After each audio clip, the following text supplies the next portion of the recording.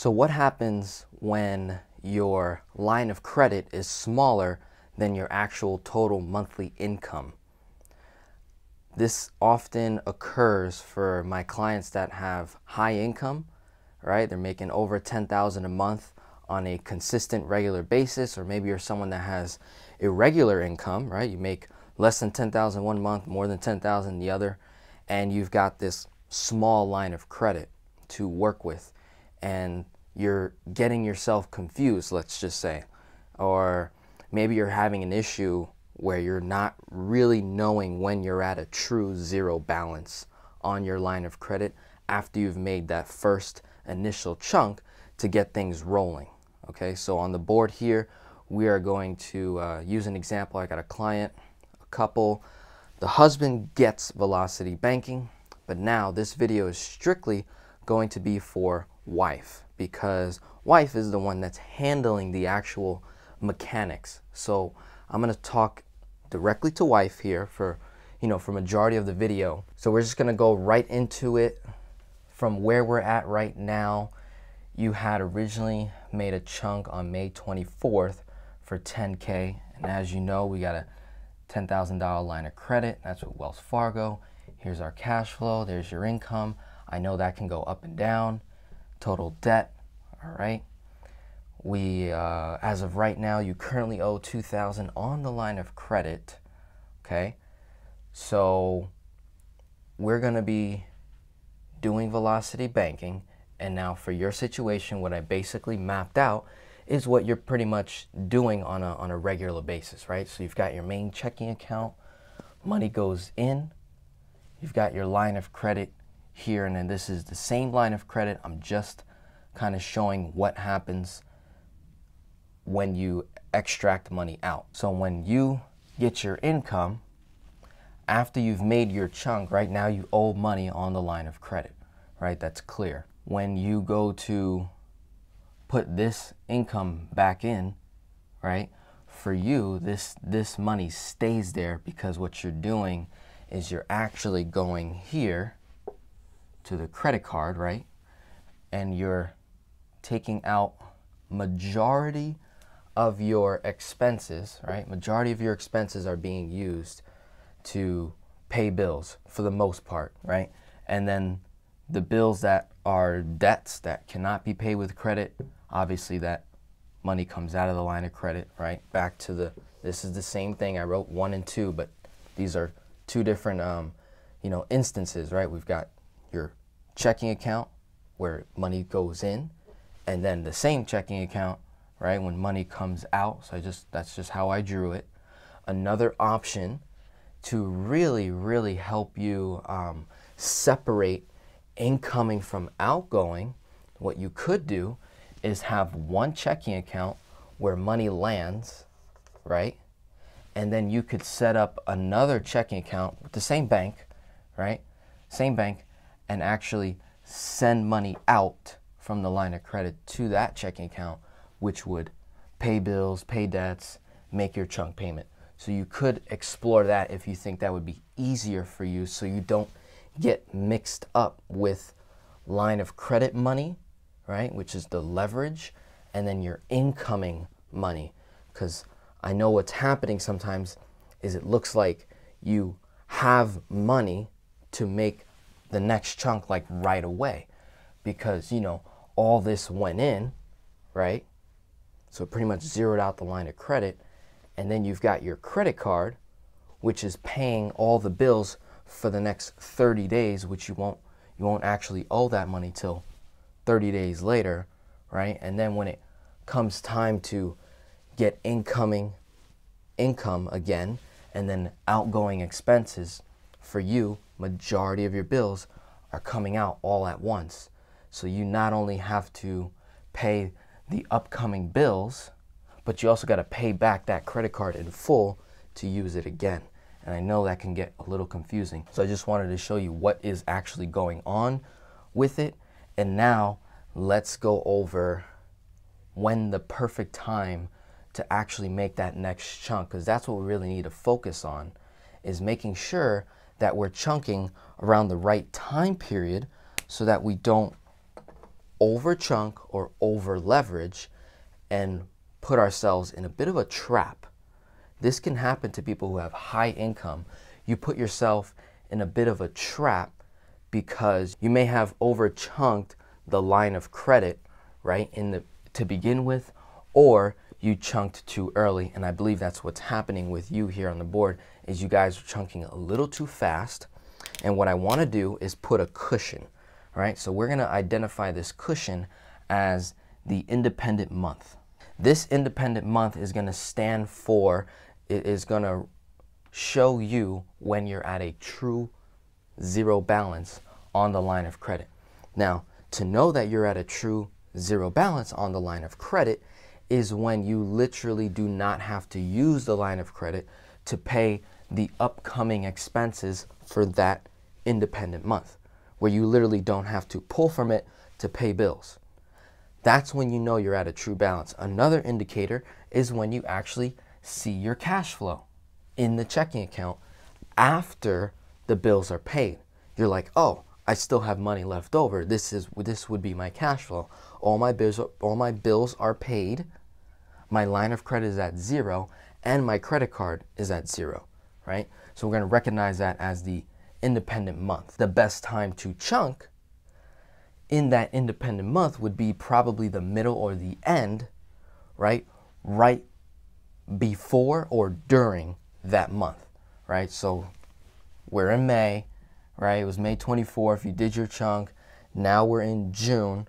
Okay, it's as I'm recording this video, and the last time we that I spoke with husband, it's it was June uh, over the weekend, June 7th, June 8th, right? And we have this balance of 2K on the line of credit, and we've got the you know whatever the balance is on the on the credit card. We're running our bills, all for the month of June, right? I know that we've got a bonus coming in. I know husband's making extra money, right? Right? Whatever is extra, okay, goes into the line of credit, okay? Don't pay the credit card just yet. Don't pay it right away. Let that sit. When we're done with June, the line of credit should be at zero or close to it, okay? Because we're not chunking right now. We've already chunked. So you should zero out the line of credit sooner than later. Once you zero it out, let it sit, okay? Keep paying your bills through the credit card and then start to actually transition over here. This is going to go against the rule of using cash to pay bills. And I know that may seem like a delay when we use cash directly to pay bills rather than always pulling from the line of credit and dumping the money in. But when the line of credit is is not big enough to supply for the amount of income you have coming in, we want to make sure we're not confusing ourselves. So we're going to give ourselves that cushion. That's the only reason why I'm going to allow us to wean ourselves off of the line of credit, right? So as soon as you zero it out, if you don't need to use the line of credit after we've zeroed it out, don't use it. You're running up the balance on the credit card, right? So what I wrote is if the line of credit is at zero by July 20th, right? July 20th, and you know these numbers, right? So if the line of credit is at zero by July 20th, then our independent month would be August and we wouldn't chunk till the middle or the end of the month. And the reason being is because all of your bills, right, are at the beginning of every month. So you're going to have to owe in August, right? You're going to have to owe in August the whole um, amount of money that you used in July. So for July's bills, you're going to owe it in August on the credit card. That will either come out of the line of credit if need be or right here, right? So you're so you're going to stop using the line of credit when the when the line of credit hits true zero by July 20. Now, I'm pretty sure you're going to do that much sooner because you don't have a big balance over here and we're in the we're in early June, right? But I know that the expenses on the credit card for June will be owed in July and you'll most likely pull it out of the line of credit, right? To to pay the whole balance in full and then you run your bills again in July. You keep it going. What we're doing is we're we're weaning ourselves, we're getting ourselves off of the line of credit so that we know that it's definitely at a true zero balance. And then now you're kind of just flirting with your cash and the credit card. And by the end of July, going into August, you'll pay this credit card off in full, either with your cash or the line of credit. But like I said, I'm pretty sure you're to have plenty of cash here. So you're just to send it directly here zero it out, pay your bills, right? Use that same money, cash went to the credit card beginning of August, right? Cash went to the credit card. Do the same thing like you're normally doing. Run all the bills that you possibly can to that credit card. Whatever bills that could have been drawn out of the line of credit to, to pay those bills that cannot be paid with a credit card, you're going to use the remaining cash, right? So you sent some cash to the credit card to get used again to pay bills, and then you're going to use the rest of the cash to pay those bills that cannot be paid with a credit card. Gotcha? And then the line of credit is still at zero. If the line of credit is still at zero, then come the middle of August, or even towards the end, in your case, it'll most likely be the middle, you'll go ahead and make your next 10K chunk, right? And so that's basically giving us June, well, the rest of May, so like the last week of May, a full month June, a full month July, partial about a third or even half of the month of August. So almost a three to four month window that we're giving ourselves, right? And if you just give yourself this window, right? You give yourself that independent month, then you're going to allow yourself to consistently make your 10K chunks every three to four months.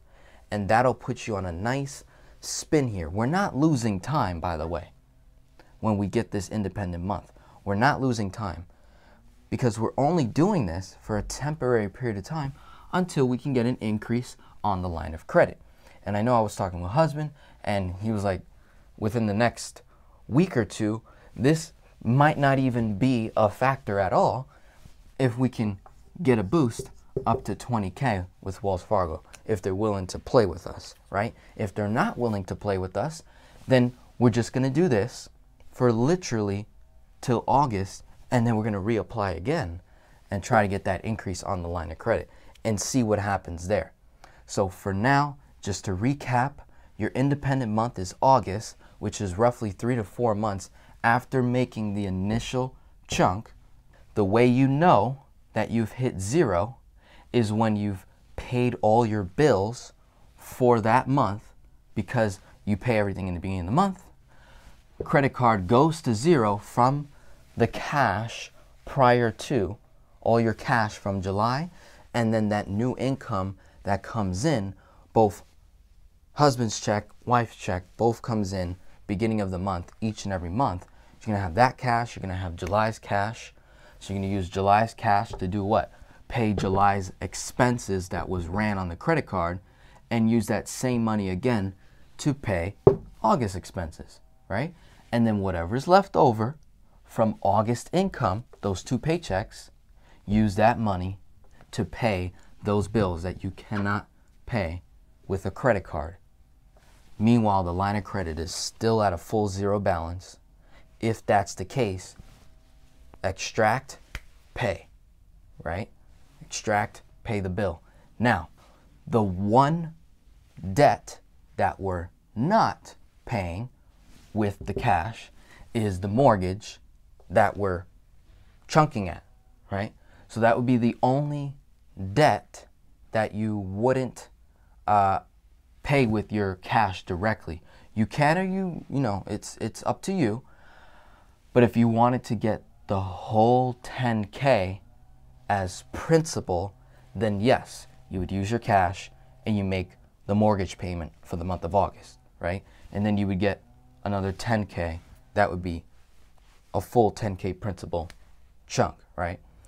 But I know what you guys have been doing currently is you've been doing you've been extracting the 10k a portion of it pays the mortgage payment for that month and then the other 74 7500 bucks boom goes right towards principal. So i hope that helps. Got any questions talk to husband and you know we'll communicate. Save this video in your file right in your file so that you don't lose it. And let's see how this works for you. I think this should definitely help, and this should definitely help my other clients and other viewers that are having the issue of, hey, I've got a small debt tool, I make good money. Whenever I take a chunk out, I'm, I'm immediately paying it off, like within that same month. And then when I, by the time I take out all the money for the line of credit, I'm already paying it back in full with that income for that same month that I was in right? Do does that mean I get to chunk again or not? And so I hope this really helps putting in a cushion month. I call that the independent month where you are completely independent from the debt tool. You don't have to use it to um, pay your bills, pay debts, right? So my name is Denzel. Hope this helps. Have a wonderful day and God bless.